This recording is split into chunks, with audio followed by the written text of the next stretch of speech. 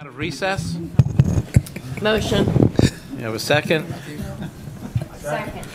Okay, all those in favor, aye. Aye. Now, sorry to disappoint everybody and everything, but bottom line, we had a lot of discussion and went nowhere. So uh, at this point, all I'm asking for is a motion to adjourn. So I guess we got a second there already, and all those in favor, aye. We And we're done for tonight. We were in